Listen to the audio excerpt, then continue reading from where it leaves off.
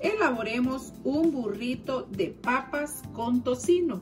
Si tú quieres saber cómo va esta receta, quédate en el canal y te muestro paso a paso cómo vamos a cocinarlo. Para hacer este burrito, los ingredientes que vamos a necesitar van a ser 5 papas. Estas papas las vamos a pelar y las vamos a cortar en trocitos muy pequeños. Vamos a necesitar también queso cheddar, crema, 4 chorizos, aceite también necesitamos, 3 tomatillos verdes, 2 tomates rojos, un chile jalapeño, cilantro, también acá tengo dos ajos, tengo también de este chile, este es chile de árbol, este chile es bien picante. Aquí va a depender qué tan picante tú quieres tu salsa. Yo tengo aproximadamente unos 8 o 10 chiles. Acá tengo un cuarto de cebolla bien picada, un paquete de tocino y tortillas para nuestro burrito. Yo te recomiendo estas tortillas si tú las puedes conseguir. Estas tortillas están buenísimas. Quédate en este video y yo te digo cómo elaborar este burrito que te va a encantar. Lo primero que vamos a hacer para esta receta, ponemos una cacerola con agua Acá ya tengo las papas también peladas y picadas y ya están lavadas también. Y las vamos a agregar en la agua que ya tenemos acá, que está a punto de hervir. Agregamos las papas y aquí vamos a agregar sal.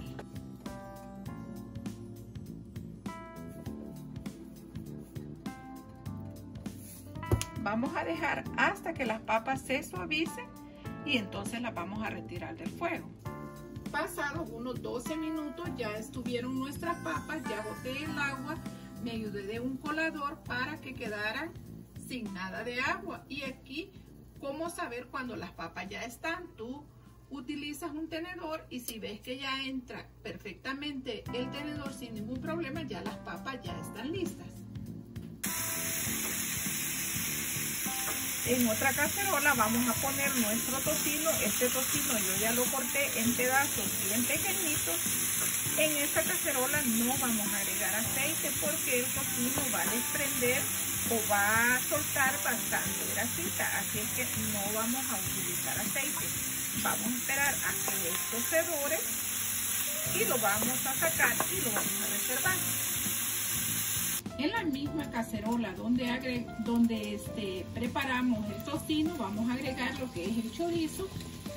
Yo le tuve que botar un poquito de la grasa que había quedado acá del tocino porque era demasiado. Así que solo dejé un poquito para freír los chorizos. Ahora ya que nuestro chorizo ya está frito, de la mitad de la cebolla que teníamos, yo voy a agregar la mitad acá. Y voy a dejar la otra mitad para la salsa. Acá vamos a agregar las papas. Agregamos las papas. Y vamos a agregar el tocino también.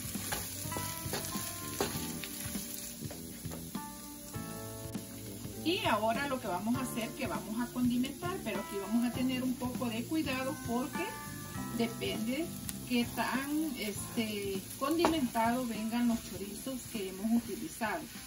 Así que si no es necesario, pues no aplicamos sal. Acá te muestro cómo nos ha quedado nuestras papas con el tocino. Esto yo no lo condimenté para nada, porque si te das cuenta los chorizos siempre vienen ya este, condimentados, entonces no hubo necesidad de aplicar nada de sal a esto.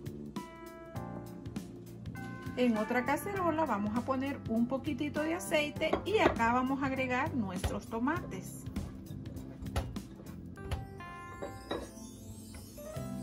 Colocamos también los ajos y los chiles de árbol los dejaremos al final. Ya que vemos que nuestros ajos están doraditos, los vamos a sacar y vamos a dejar más tiempo los tomatillos y los tomates. Acá en este punto, ya que vemos que nuestros tomates ya están asados, vamos a sacar y vamos a continuar con los chiles de árbol.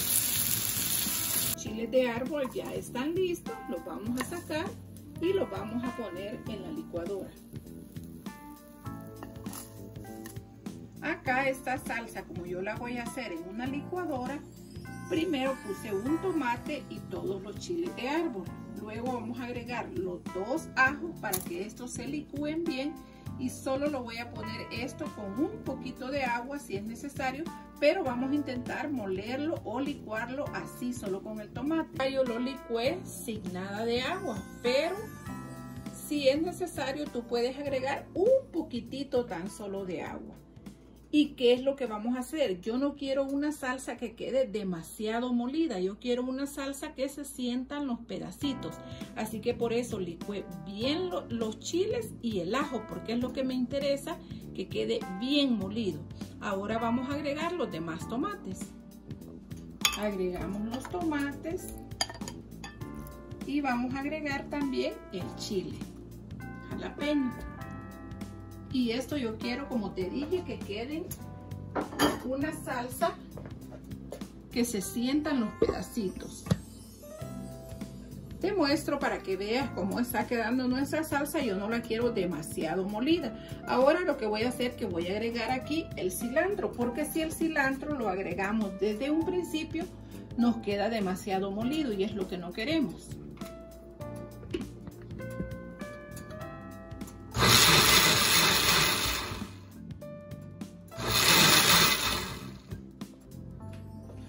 Así es como nos ha quedado nuestra salsa. Ahora, tienes dos opciones. Acá yo tengo lo que es la cebolla. La cebolla, si tú quieres, se la puedes agregar así cruda o también tienes la opción de saltearla un poquito con aceite. Tienes las dos opciones, de las dos maneras se puede hacer.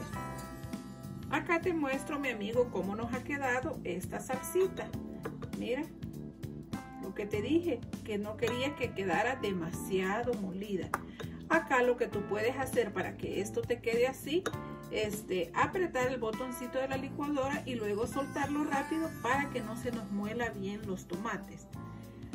Acá yo voy a agregar la cebolla que me había quedado restante, yo la voy a agregar cruda y también para la salsa vamos a agregar un poquitito de sal.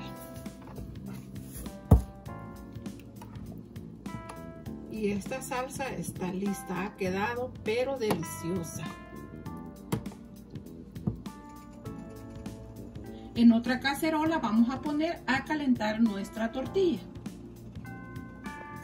Acá ya calenté la tortilla un poquito y vamos a agregar un poquito de crema en todo lo que es la tortilla. Ahora que ya tenemos así, acá si tú quieres también puedes agregar incluso hasta aguacate. Agregamos la mezcla que preparamos de nuestras papas con tocino, chorizo y vamos a poner un poquito de queso.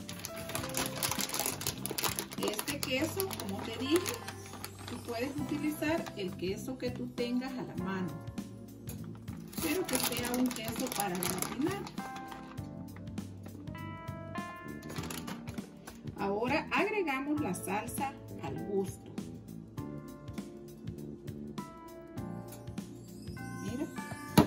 Y lo vamos a envolver de esta manera. Doblas así. Y luego vamos a hacer esto. De esta manera. Tienes que quedarlo nuestro burrito. Acá para que el queso se gratine, si tú quieres lo puedes pasar por una este cacerola o lo puedes poner al microondas unos cuantos segundos. Yo acá lo voy a poner en una cacerola tan solo unos cuantos segundos para que el queso se gratine. Ya cuando ves que está cambiando de color tu tortilla, pues ya está listo para darle vuelta mis queridos amigos, así es como nos ha quedado este delicioso burrito de papa, chorizo y tocino. Mm, esta receta yo sé que te va a encantar. Quiero pedirte un gran favor. Si esta receta te ha gustado, por favor no se te olvide dejarme un like porque de esa manera tú apoyas mi canal. También compartiendo estos videos con familiares y con amigos o dejando algún comentario porque así tú haces que YouTube muestre mis videos a más personas. Así que dicho esto, mis queridos amigos, me despido de ustedes deseándoles que tengan un excelente día y bendiciones para todos. Adiós.